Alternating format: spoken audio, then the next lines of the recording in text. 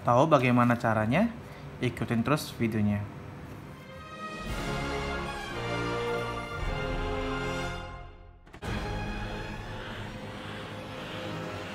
Halo, selamat datang kembali di channel Lucu Panda. Nah, di sini sesuai dengan video di awal, eh, bagaimana cara untuk mencetak label Tokopedia menggunakan printer Panda PRJ R80B ini. Nah, di sini saya tidak menggunakan uh, label ya, tapi saya menggunakan uh, paper roll thermal ya. Ini paper roll thermal biasa ukuran 80 kali 40 ya.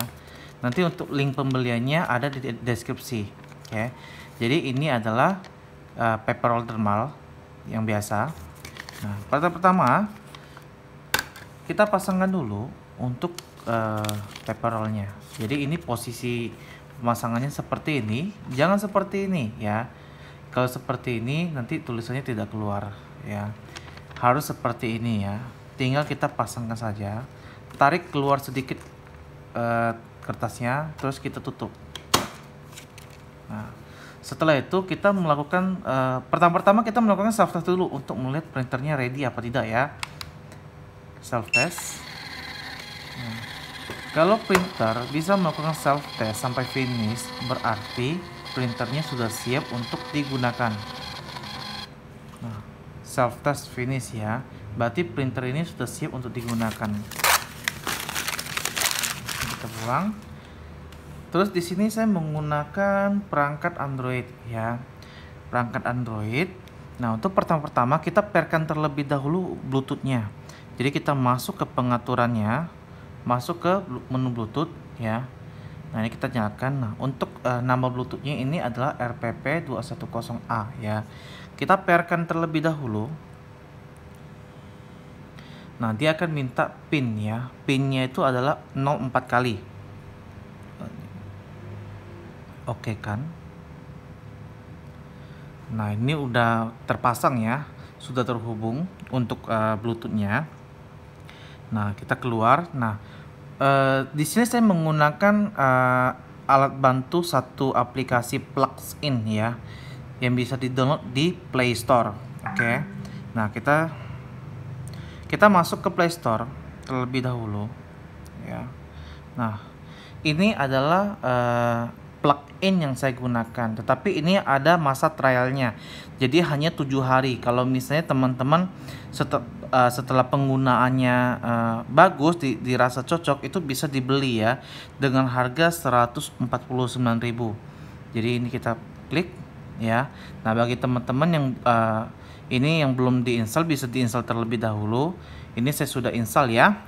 Nah, bagi teman-teman yang ini bisa dibeli uh, ini yang berbayar ketika masa trialnya habis ya. Jadi printer A ini yang pet version ya ini seharga 149.000 ya. Nah, kita di sini masih menggunakan yang trial. Itu hanya bisa berlaku selama 7 hari, oke. Kita buka. Nah, untuk settingan settingannya ini kan banyak nih. Ada ada ada gambar, ada print PDF, ada print web. Nah, kita masuk ke setting terlebih dahulu. Pilihnya Indonesia, terus di sini kalau kita sudah pair uh, printernya, maka akan muncul nama Bluetoothnya yaitu RPP210A kita pilih untuk kertasnya ke ukuran 80 mm dan ini aktif ya posisinya aktif. Terus nah yang paling terpenting bagian bawah aktifkan service plugin. Plugin ini harus diaktifkan.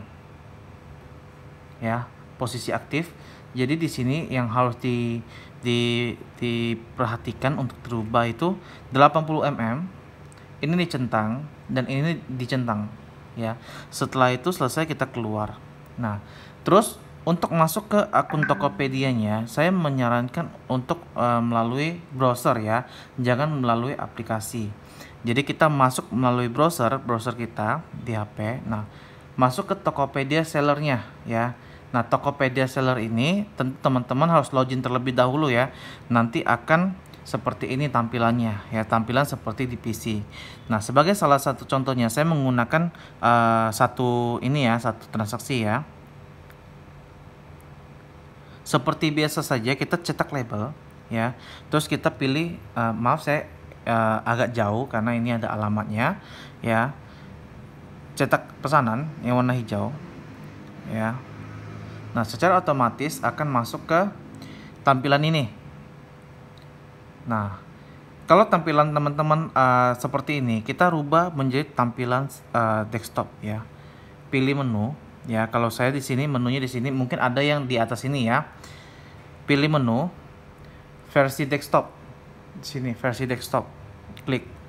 Nah maka akan muncul tampilan seperti di PC nah setelah itu kita pilih cetak ya pilih cetak nah secara otomatis plugin ini akan muncul ya dan membuat ukuran kertasnya menjadi otomatis ISO A6 jadi tampilannya langsung seperti ini langsung bagus ya kalau untuk defaultnya kan seperti ini pada umumnya ya simpan sebagai PDF. Tetapi kalau kita udah install pluginnya, dia akan membaca dan langsung ada uh, plugin pluginnya di sini. Terus kita print, ya.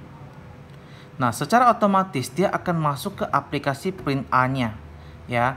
Dia akan mengenerate untuk ukuran labelnya ini. Jadi kita di sini tinggal print saja.